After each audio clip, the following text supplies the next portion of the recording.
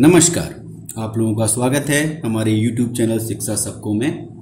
हम लोग NIOS की माध्यमिक, उच्चतर माध्यमिक कक्षा यानी इंटरमीडिएट का व्यवसाय अध्ययन विषय पढ़ रहे हैं।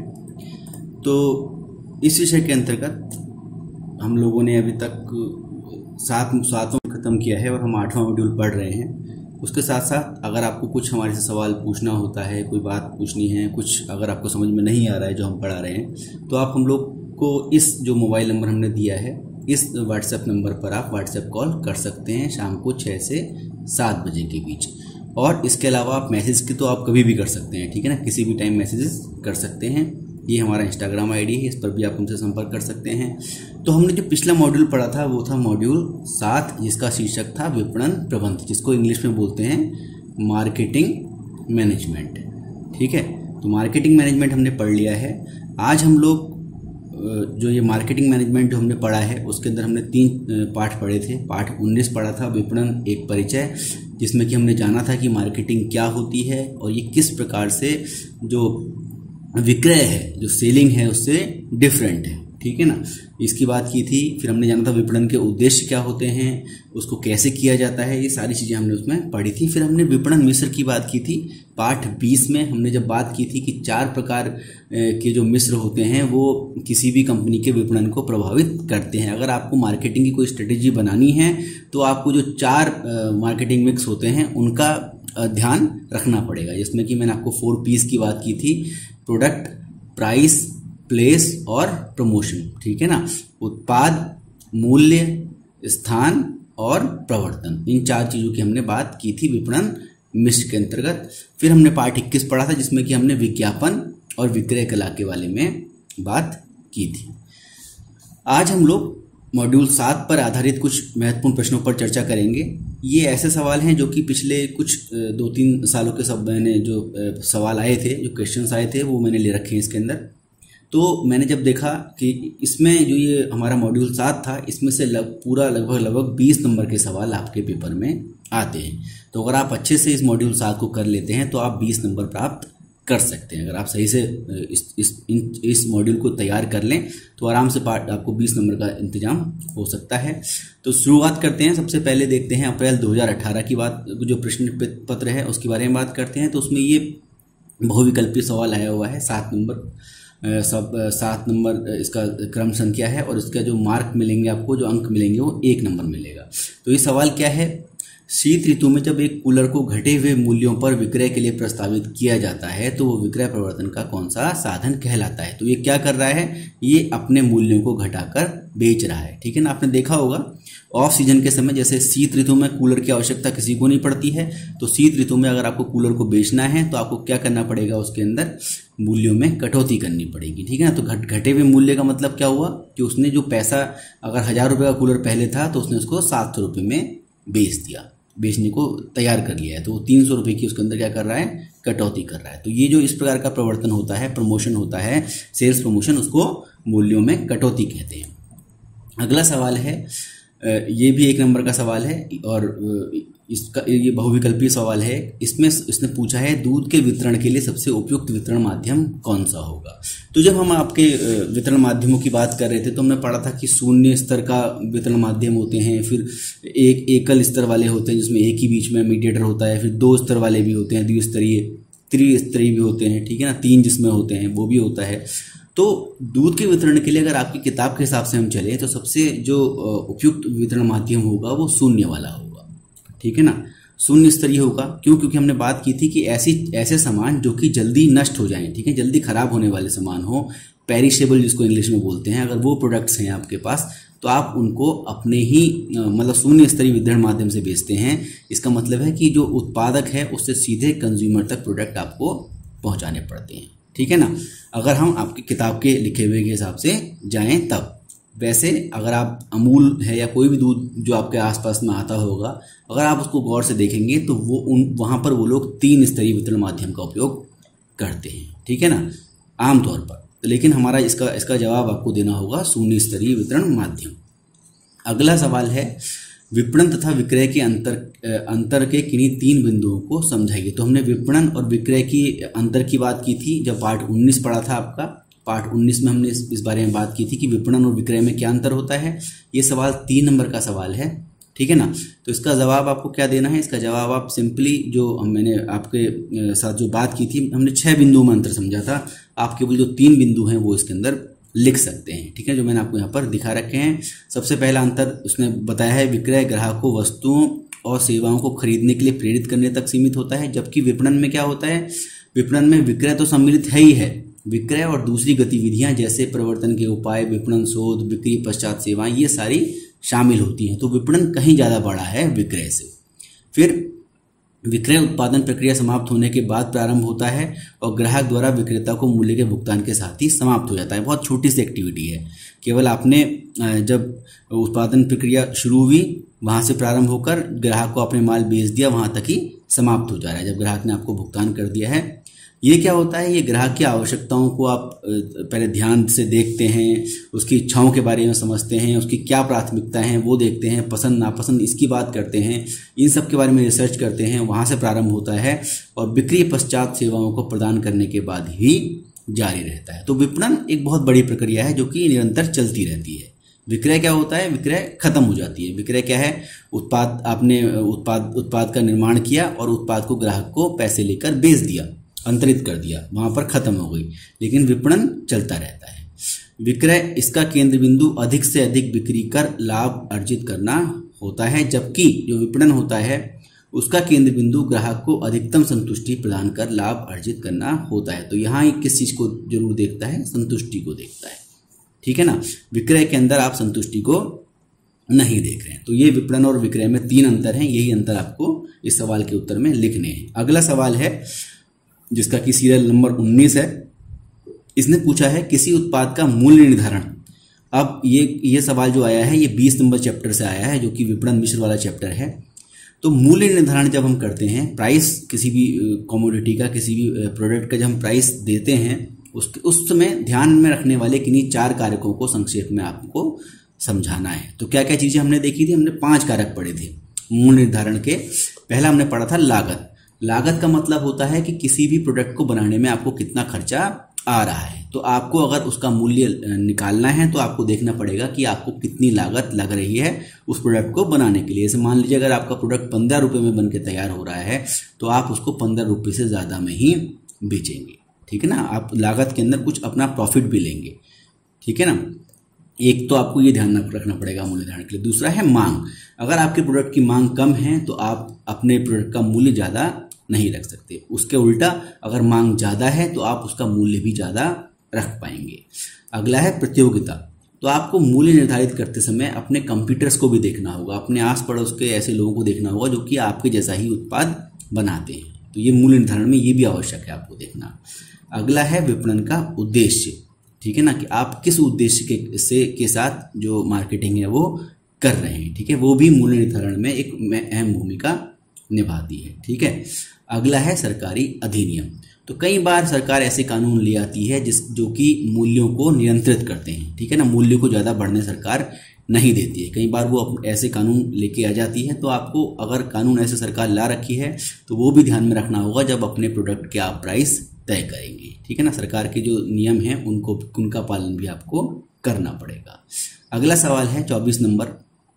का जो सवाल है, इसका जो आपको अंक मिलेंगे, वो मिलेंगे पाँच। तो इसका, जो सवाल इसने पूछा है, उपभोक्ता वस्तुओं का क्या अर्थ है? ठीक है ना? उपभोक्ता वस्तुएँ क्या होती हैं? उपभोक्ता वस्तुओं के विभिन्न वर्गों का संक्षेप में वर्णन कीजिए। तो बहुत इजी सवाल है। उपभोक्ता वस्तुएँ कौन सी वस्तुएँ होती हैं? हमने बात की थी जब उत्पाद के वर्गीकरण की हमने बात की थी। तो हम उपयोगिता के आधार पर उत्पाद को दो कैटेगरी में बांट सकते हैं। एक होती हैं उपभोक्ता वस्तुएँ और एक होती हैं औद्योगिक वस्तुएँ। तो उपभोक्ता वस्तुएँ क्या होती हैं? वो वस्तुएँ होती हैं जो परिवारों और अंतिम उपभोक्ताओं के उपयोग के लिए उपयोग में लाई जाती हैं। तो इस वर्ग में क्या क्या सकती हैं? आपकी जो एफएमसीजी प्रोडक्ट्स होते हैं, जैसे किराना वाले, ठीक है ना? किराना हो गया, प्रसाधन हो गया, ठीक है ना? जो सौंदर्य वाली क्रीम्स आती हैं, ये सब चीज़ें हैं। कपड़े हो गए, ठीक है ना? ये सारी चीज़ें क्या हैं? ये सारी चीज़ें उपभोक्ता वस्तुएँ हैं। तो उपभोक्ता जिन उपभोक्ता वस्तुओं को खरीदने में रुचि रखता है, उनको फिर फर्दर हम तीन वर्गों में बांटते हैं। एक होती हैं सुविधा वस्तुएँ क्रय योग्य वस्तुएँ और विशिष्ट वस्तुएँ। ठीक है ना? तो ये सुविधा वस्तुएँ क्या होती हैं? जैसे आपने कभी कोल्ड ड्रिंक खरीदी होगी, ठीक है ना? तो कोल्ड ड्रिंक हो सकता है, कोल्ड ड्रिंक या किराने की कोई भी वस्तु आपने कब खरीदी थी आपको याद नहीं हो। इसका कारण क्या है? इसका कारण ये है कि सुविधा वस्तुएँ जो होती हैं इस प्रकार की, जैसे कोल्ड ड्रिंक की बात हम कर रहे हैं, कि इसको आप इतना फ्रीक्वेंटली खरीदते हैं, इतना अधिक खरीदते हैं या इतनी बार खरीदते हैं चीज़ों को, कि आपको इनका उपयोग, और क्या होता है, आप उसको खरीद के जल्दी इसका यूज़ भी कर लेते हैं। तो इन वस्तुओं के क्रय के निर्णय से बहुत आपको सोचने के, विचार करने की ज़रूरत नहीं होता है। ठीक है ना? तो ये वस्तुएँ कहलाती हैं, सुविधा वस्तुएँ, जिनको कि आप अक्सर खरीदते रहते हैं और इस प्रकार की वस्तुएँ आसपास के जो आपके फुटकर विक्रय स्थल होते हैं, वहाँ पर उपलब्ध होती हैं, ठीक है ना? और क्रय योग्य वस्तुएँ क्या होती हैं? इस प्रकार की वस्तुएँ बहुत जल्दी जल्दी नहीं खरीदी जाती, जैसे कपड़े हो गए, ठीक है ना? कार हो गई, मान लीजिए, जूते हो गए, ठीक है ना? कार नहीं होगा, इसमें जूते हो गए, ठीक है ना? घर में उपयोग आने वाली अन्य वस्तुएँ हो गई। तो इन वस्तुओं के क्रय का निर्णय जो होता है, उसको करने से पहले आपको काफ़ी अपना समय और शक्ति लगानी पड़ती है। क्यों? क्योंकि हो सकता है कि कुछ खास तरह के कपड़े आपको खरीदने हो, आपको उसके लिए दूसरी जगह भी जाना पड़े। ठीक है ना? तो जो क्रय योग्य वस्तुएँ होती हैं, उन पर सुविधा वस्तुओं से ज़्यादा खर्चा आप करते हैं। इसलिए ज़्यादा समय भी आप लगाते हैं उसका उसका डिसीज़न लेने में। और इसके बाद जो तीसरे प्रकार की वस्तुएँ हैं, वो हैं विशिष्ट वस्तुएँ। ये क्या होती हैं? तो ये जो विशिष्ट वस्तुएँ होती हैं, ये कुछ इनके अंदर विशिष्ट गुण होते हैं और क्रेता इन्हें खरीदने के लिए विशेष प्रयास करता है। ठीक है ना? इसमें कार शामिल होगी। ठीक है ना? सर कार है। तो कार खरीदने के लिए क्रेता बहुत ज़्यादा देख ऑप्शंस देखता है कौन कौन से अवेलेबल हैं। फिर अगर बहुत दूर भी मिल रही होगी कार, कहीं शोरूम उसके शहर में नहीं है, अगर उसको वो कार पसंद है तो वो दूसरे शहर भी जाता है। ठीक है ना, दस किलोमीटर दूर, बीस किलोमीटर दूर, वो लेके आता है। तो इस तरीके की जो वस्तुएँ होती हैं, काफ़ी महँगी होती हैं, ठीक है ना, इन, इस तरह की वस्तुओं के उदाहरण आप दे सकते हैं, जैसे टीवी हो गया, ठीक है ना, नई गाड़ियाँ हो गई, ठीक है, कैमरे हो गए, ये सारी की सारी विशिष्ट वस्तुओं के अंतर्गत आती हैं। तो ये बात हमने कर ली, यही चीज़ आपको इसके अंदर लिखनी है जब आप उपभोक्ता वस्तुओं की बात कर रहे हैं। अगला सवाल, सबसे जो लास्ट सवाल है अप्रैल 2018 का, वो है उनतीस नंबर। और इसमें से ये ये जो सवाल है, ये छः नंबर का है और इसमें आपके पास विकल्प रहता है। जो छः नंबर वाले सवाल होते हैं, इसमें विकल्प मिलता है आपको कि आप पहला सवाल करें या दूसरा करें। ठीक है ना? दोनों सवाल आपके मार्केटिंग वाले ही मॉड्यूल से आए हुए हैं। पहला सवाल है, विभिन्न उत्पादक विपणन अवधारणा के भिन्न भिन्न पहलुओं को महत्व देते हैं। जो बहुत सारे प्रोड्यूसर्स होते हैं, हमने विपणन अवधारणा की जब बात की थी कौन कौन से कंसेप्ट चलते हैं विपणन अवधारणा में, तब हमने आपको बताया था। तीन चार जो हमने बात की थी, उसमें बताया था एक उत्पादन अवधारणा होती है, जिसमें कि सिर्फ़ उत्पादन पे ही ज़ोर दिया जाता है, फिर एक उत्पाद अवधारणा होती है, जिसमें कि उत्पाद को लेकर आप चलते हैं, फिर एक विक्रय अवधारणा होती है, जिसके के अंतर्गत आपको केवल बेचने से मतलब होता है। फिर हमने विपणन अवधारणा की बात की थी, जिसमें कि आप ग्राहक की संतुष्टि का भी ध्यान देते हैं, और फिर हमने सामाजिक विपणन अवधारणा की बात की थी, जिसमें कि आप केवल ग्राहक को ही नहीं, बल्कि पूरे समाज को लेकर चलते हैं। ठीक है ना? तो एक बार आप उसको देख लीजिएगा। जो पहला चैप्टर था मतलब पहला गलत बोल रहा हूँ, उन्नीस नंबर जो चैप्टर है, जिसमें कि विपणन प्रबंध की हम बात कर रहे हैं, उस चैप्टर के अंदर हमने ये विपणन प्रबंध दर्शन की बात की थी। उसी में ये अवधारणा वाली बात आई थी। ठीक है ना? ये आप आराम से लिख सकते हैं। अगला सवाल है फिलिप कोटलर, जो कि मार्केटिंग के गुरु माने जाते हैं। उनके अनुसार विपणन मिश्र, यहाँ पे हम मार्केटिंग मिक्स की बात कर रहे हैं। ठीक है? विपणन मिश्र की बात करें विपणन मिश्र उन नियंत्रणीय परिवर्तनशील अवयवों का समूह है, जिनका प्रयोग फर्म क्रेता की प्रतिक्रिया को प्रभावित करने के लिए करती है। तो इन अवयवों को आपको संक्षेप में समझाना है। इसमें कुछ नहीं करना है, आपको इसमें प्रोडक्ट मतलब उत्पाद, मूल्य, स्थान और प्रवर्तन। ये जो चार चीज़ें हमने पढ़ी थी मार्केटिंग मिक्स में, केवल उन्हीं के बारे में लिख देना है, ठीक है? ज़्यादा कंफ्यूज होने की ज़रूरत नहीं है। इसने पहले बताया है कि फिलिप कोटलर के अनुसार विपणन मिश्र क्या होता है। फिर आपसे पूछा है कि विपणन मिश्र में जो अवयव शामिल होते हैं, अवयव का मतलब है वही जो चार कंपोनेंट है, जिनको कि मैं फोर पी कह रहा था, ठीक है ना? आपकी किताब में भी फोर पीस लिखे हुए वही फोर पीस आपको यहाँ पर लिख देने हैं, ठीक है ना? उत्पाद, मूल्य, स्थान और प्रवर्तन। स्थान से मतलब हमारा वितरण से होता है, ठीक है ना? वो शून्य लेवल वाली जो जो एक लेवल वाली ये सारी जो हमने बात की थी, वो सारी हम इसके अंदर आप लिख दीजिएगा, ठीक है ना? तो ये बहुत इजी है, विपणन भविष्य की अवधारणा और घटक के बारे में यहाँ पर आपको बताना है। तो ये छह नंबर का सवाल था, बहुत आसान था। अब हम आगे बढ़ते हैं। अब अप्रैल 2019 का प्रश्न पत्र हम देखते हैं। सबसे पहला सवाल आया हुआ है 250 मिलीलीटर के बाल के तेल की बोतल में 25 प्रतिशत अतिरिक्त तेल निम्न में से प्रवर्तन का कौन सा साधन है? तो आप क्या दे रहे हैं? आप 250 एम की जो बोतल है, उसमें 25 प्रतिशत फ्री दे रहे हैं। ठीक है तो इसको बोलते हैं बोनस। क्या बोलते हैं इसको? कि आप कुछ बोनस ऑफ़र दे रहे हैं। कुछ साथ में उसके मतलब उसी प्रोडक्ट का ही आपको ज़्यादा सामान मिलेगा, उतने ही रुपए में। ठीक है तो वो हो गया? क्या हो गया? बोनस हो गया। अगली बात है उत्पादों द्वारा उत्पादक उत्पादक द्वारा, उत्पादों का उत्पादक द्वारा स्वयं के कर्मचारियों के द्वारा विक्रय क्या है? जब उत्पादक अपने कर्मचारियों की मदद से माल को उपभोक्ता तक बेच देता है, बीच में किसी भी प्रकार के मध्यस्थ जो होते हैं, वो शून्य होते हैं तो उसको बोलते हैं शून्य स्तरीय वितरण माध्यम। मतलब बीच में कोई बिचौलिया नहीं है, सीधे उत्पादों का उत्पादक द्वारा स्वयं के कर्मचारियों के द्वारा विक्रय किया जा रहा है। तो वो होता है शून्य स्तरीय वितरण माध्यम। अगली बात करें तो अगला सवाल आया है, चौदह नंबर जो है, जिसका कि आपको तीन नंबर मिलेंगे इस सवाल को करने पे, वो है विपणन का क्या अर्थ है? मार्केटिंग क्या है? ठीक है ना? तो मार्केटिंग के अर्थ, एक तो हमने अगर आप आम भाषा में बोले तो विपणन क्या होता है? वो व्यवसायिक गतिविधियों का निष्पादन है, जिसके द्वारा विभिन्न वस्तुएँ और आपूर्ति सेवाएँ उत्पादकर्ता से उपभोक्ता तक आसानी से पहुँच जाती है। मतलब आप उत्पादक से माल को उपभोक्ता तक पहुँचा रहे हैं, ठीक है ना, उपभोक्ता तक पहुँचा रहे हैं तो यही जो प्रक्रिया है, यही जो व्यावसायिक गतिविधियाँ हैं, इसी को ही विपणन कहते हैं, ठीक है ना। इसका निष्पादन इन, व्यावसायिक गतिविधियों का निष्पादन ही विपणन होता है, ठीक है। और अगर हम इसको एक स्टैंडर्ड डेफिनेशन में देखें तो अमेरिकन जो मार्केटिंग एसोसिएशन है, उसके अनुसार विपणन क्या है? एक संगठनात्मक क्रियाकलाप है और निर्माण, संप्रेषण और ग्राहक को सही कीमत प्रदान करने के लिए तथा ग्राहक के साथ संबंध को इस तरह व्यवस्थित और नियंत्रित रखने के लिए, जिससे संस्था और उसके पर्णधारी दोनों को लाभ हो, इन सब प्रक्रियाओं का एक समूह है। ठीक है ना? तो विपणन में क्या क्या चीज़ें शामिल हैं? निर्माण शामिल है कम्युनिकेशन शामिल है, संप्रेषण जिसको कि आप प्रवर्तन भी बोलते हैं, जिसमें विज्ञापन होता है, विक्रय कला होती है और साथ में मूल्य, सही कीमत, ग्राहक को सही कीमत प्रदान करने के लिए तथा ग्राहक के साथ लास्ट बात आती है संबंध की। ठीक है ना? उसके साथ संबंध को भी इस तरह व्यवस्थित और नियंत्रित रखना, जिससे जो कंपनी है, जो संस्था है और उसके जो शेयर होल्डर्स हैं या पणधारी हैं, उन दोनों को लाभ हो। तो ये जो सारी प्रक्रियाएँ हैं, इनको मिला के ही आप विपणन बनाते हैं, विपणन बनता है। अगला सवाल है, विक्रय प्रक्रिया का प्रथम चरण होता है संभावना तलाशना जब हम बात कर रहे थे विक्रय कला वाले चैप्टर में तो विक्रय कला के अंदर हमने देखा था कि विक्रय प्रक्रिया जो होती है, जब प्रोसेस आप सेल जब करने जा रहे हैं, बेचने जा रहे हैं माल को तो आप कैसे होता है? पहला चरण उसका क्या होता है विक्रय कला का? सबसे पहला होता है संभावना तलाशना ये आप देखेंगे, मैं आपको दिखा रहा हूँ अभी। इसके आगे के चरणों की सूची आपको देने का आप केवल आपको लिस्ट बतानी है। तो सबसे पहला होता है संभावना तलाशना, फिर आप ग्राहक के आने से पहले की तैयारी करते हैं, फिर ग्राहक से संपर्क करते हैं, प्रस्तुति और प्रदर्शन होता है, फिर शंकाओं, यानी कि उसको कुछ अगर डाउट्स हैं या आपत्तियाँ हैं तो उसके ऊपर आप क्लैरिफिकेशन देते हैं, उनका, उनको रिजॉल्व करते हैं, फिर विक्रय करते हैं आप और बिक्री प्रक्रिया को पूरा करते हैं और सबसे लास्ट में आता है विक्रय करने के पश्चात की जो सेवाएँ हैं वो। विक्रय पश्चात सेवाएँ। तो ये सारी चीज़ें बहुत ईजी हैं। अगर आपको ये एसिटीज याद नहीं आता है तो आप अपनी लैंग्वेज में भी लिख सकते हैं। ठीक है ना? कई बार चीज़ें याद नहीं हो पाती हैं। अगला है विपणन के उद्देश्यों का संक्षेप में वर्णन कीजिए। इसने पूछा है कि विपणन के उद्देश्य क्या है, वो बताने हैं आपको, ठीक है? ना तो मार्केटिंग के जो उद्देश्य थे, हमने पाठ 19 में पढ़े थे, जो कि इस प्रकार से थे।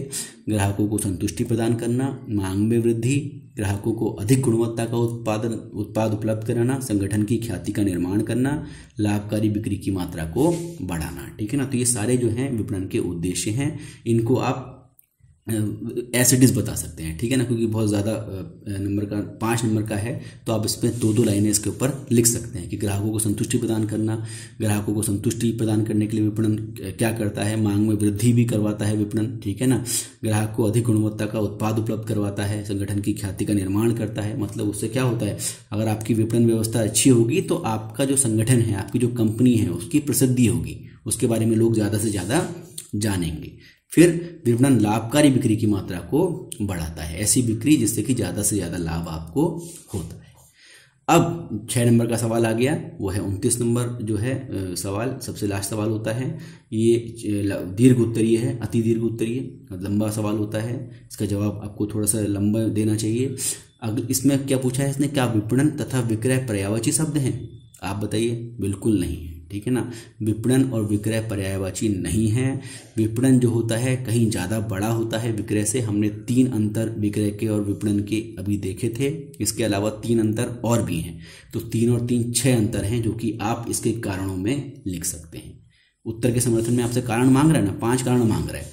आप इसके छह कारण लिख दीजिए। ठीक है ना? कौन कौन से थे? तीन मैंने आपको भी दिखाए थे अभी बात कर लेता हूँ आगे। कौन कौन से थे? ये था। हमने इन तीनों की बात कर ली थी। कि ग्राहक को वस्तुओं खरीदने के लिए प्रेरित करने तक केवल विक्रय सीमित होता है, जबकि जो विपणन होता है, वो न केवल उत्पाद को बनवाता है, उसमें प्रवर्तन के उपाय शामिल होते हैं, विपणन शोध शामिल होता है, बिक्री पश्चात सेवाएँ, ये सारी शामिल होती है। तो विपणन कहीं ज़्यादा बड़ी एक्टिविटी है। इसके साथ साथ जो तीन और हैं, इसके द्वारा आंशिक तरीकों से लघुकालीन लाभ प्राप्त होता है। जो विक्रय होता है, वो आपको छोटे अवधि का लाभ देता है। जबकि जो विपणन है, वो ग्राहक की आवश्यकता ही इसकी केंद्र बिंदु है, होती है, जिसके चारों ओर विपणन की गतिविधियाँ घूमती हैं। तो ये इंश्योर करता है कि आप ग्राहक के साथ एक रिलेशन बना लें, संबंध बना लें। तो जब संबंध बन जाएगा तो ग्राहक आपके पास बार बार लौटेगा। तो आपको क्या होगा? दीर्घकालीन लाभ प्राप्त होगा। आप केवल छोटे अवधि की नहीं सोचेंगे। विक्रय से क्या होता है? इसकी सारी गतिविधियाँ तैयार किए गए उत्पाद के चारों तरफ़ घूमती हैं, ठीक है? तो इसका मेन ऑब्जेक्टिव होता है, वो उत्पाद को, उत्पाद के ही चारों तरफ़ घूमता है। जबकि विपणन क्या होती है? एक संगठित तरीका है, संगठित तरीका है, जिसके द्वारा दीर्घकालीन उद्देश्य जैसे ग्राहक को बनाना और उसे बनाए रखना होता है। ठीक है ना, केवल इसमें उत्पाद की बात नहीं होती है, बल्कि साथ साथ ग्राहक की बात की जाती है। ग्राहक मतलब ये उत्पाद सेंट्रिक हो गया, उत्पाद के ही चारों तरफ़ घूम रहा है, ये ग्राहक के चारों ओर घूमता है, ठीक है ना। ग्राहक को खुश रखना, उसको बनाना और उसे बनाए रखना, ये सारी चीज़ें विपणन में सम्मिलित होती हैं। विक्रेता की आवश्यकता पर विक्रय बल देता है, जबकि जो विपणन है वो ग्राहक की आवश्यकता पर बल देता है, ठीक है ना। तो ये छः सात आप कारण लिख देंगे छः कारण लिख देंगे तो आप जो विक्रय और उसने अंतर पूछा है विपणन के बीच में, वो लिख सकते हैं, ठीक है ना? कोई कारण, पाँच कारण दे सकते हैं कि क्यों विपणन और विक्रय पर्यावाची शब्द नहीं अगला सवाल है विपणन मिश्र उन नियंत्रणशील, नियंत्रणीय, प्रवर्तनशील अवयवों का समूह है। बिल्कुल वही, जैसे अभी हमने फिलिप कॉटलर की बात की थी, उसने मार्केटिंग मिक्स के बारे में पूछा था। तो ये भी वही बात कर रहा है, विपणन मिश्र की बात कर रहा है। उन नियंत्रणशील, नियंत्रणीय, प्रवर्तनशील, परिवर्तनशील अवयवों का समूह है, जिसका प्रयोग फर्म क्रेता की प्रतिक्रिया को प्रभावित करने के लिए करती है। ऐसे किन्हीं तीन नियंत्रणीय अवयवों को संक्षेप में समझाइए। तो यहाँ पे आप फोर पीस जो होते हैं, उसमें से कोई से भी थ्री पीस आप समझा सकते हैं। आपको जो अच्छे लगे। आप उत्पाद समझा दीजिए, मूल्य समझा दीजिए, ठीक है ना? और स्थान समझा दीजिए, ठीक है ना? आप इन तीनों को समझाएँगे तो चल जाएगा, ठीक है ना? आपको तीन ही पी समझाने हैं। आप प्रवर्तन ना भी समझाएँ तो भी चलेगा, क्योंकि इसने तीन ही पूछा है, ठीक है ना? अगर आपको अच्छा लग रहा है तो आप चारों भी समझा सकते हैं, ठीक है ना? ये आपके ऊपर डिपेंड करता है। तो उसमें कुछ नहीं था, उसमें आपको विपणन मिश्र बताना था। अब हम नया जो साल है उसकी बात कर रहे हैं, अक्टूबर 2019 के सवाल की बात कर रहे हैं। सबसे पहला जो सवाल है वो एक नंबर का सवाल, बहुविकल्पीय। पूछा गया है, उपभोक्ता वस्तुओं के विक्रय के लिए वितरण का कौन सा माध्यम सबसे उपयुक्त रहता है? अगर आपको उपभोक्ता वस्तुएँ की कंज्यूमर गुड्स भेजनी है, किराने वाली जो वस्तुएँ आप जहाँ से लेते हो, वो भेजनी है तो सबसे अच्छा माध्यम रहता है तीन स्तरीय माध्यम, ठीक है ना? अगर आप किताब में पढ़ेंगे तो आपको याद आ जाएगा। अगला है, विपणन की वो कौन सी अवधारणाएँ हैं जिसके अनुसार बड़ी मात्रा में वस्तुओं का उत्पादन कर और एवं उत्पादन की लागत को कम करके लाभ को बढ़ाया जा सकता है? तो ये जो अवधारणा कहलाती है, जो कि उत्पादन के ऊपर ही डिपेंड करती है, उत्पादन की लागत को घटाने और उत्पाद को, उत्पादन को बढ़ाने, ठीक है ना? बड़ी मात्रा में उत्पादन करना, ये बोला गया था ए वाले में, उत्पादन अवधारणा में, ठीक है ना? तो ये इसका सही जवाब होगा। अगला सवाल है जो कि तीन नंबर का है, जो कि क्या है? निम्न के आधार पर विज्ञापन और विक्रय संवर्धन में अंतर समझाइए। तो विज्ञापन एडवर्टाइजिंग और सेल्स प्रमोशन ठीक है ना? सेल्स कैसे आप बढ़ाते हैं, उन सब के बीच में आपको अंतर समझाना है, ठीक है ना? किस किस बिंदुओं पर उद्देश्य, प्रभाव और प्रकृति के आधार पर? बिल्कुल हमने यही चीज़ पढ़ी थी। मैंने आपको बताया था कि उद्देश्य के आधार पर विज्ञापन क्या होता है? विज्ञापन का उद्देश्य होता है उत्पाद के लिए सकारात्मक पक्ष का निर्माण करना।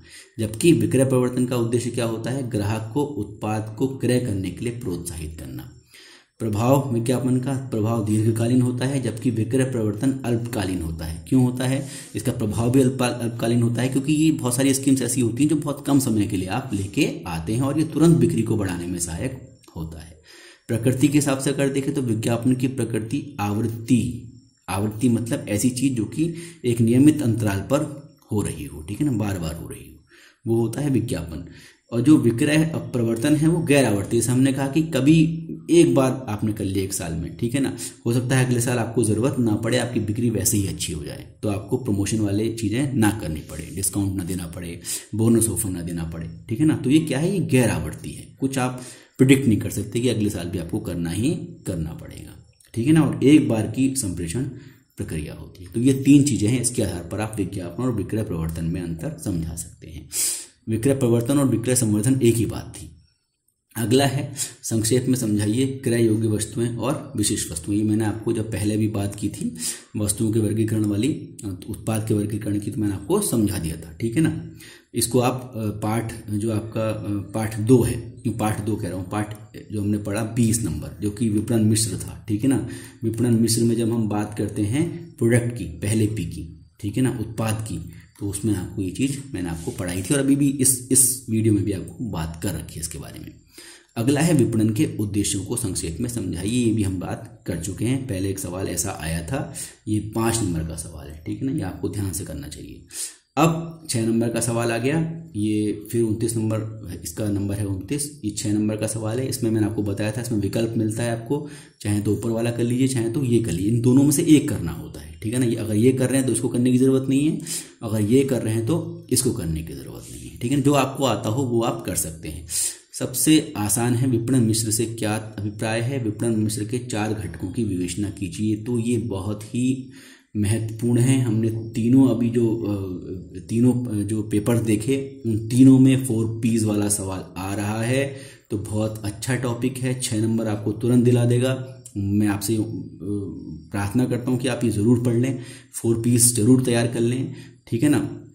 फोर पीज अगर आपने टॉपिक तैयार कर लिया तो आपको छः नंबर आसानी से मिल जाएँगे। इसने सिर्फ़ वही पूछा है, विपणन मिश्र क्या होता है और विपणन मिश्र के चार घटकों की विवेचना करिए आपको। उसके चार घटकों, यानी कि प्रोडक्ट प्राइस प्लेस प्रमोशन ठीक है ना?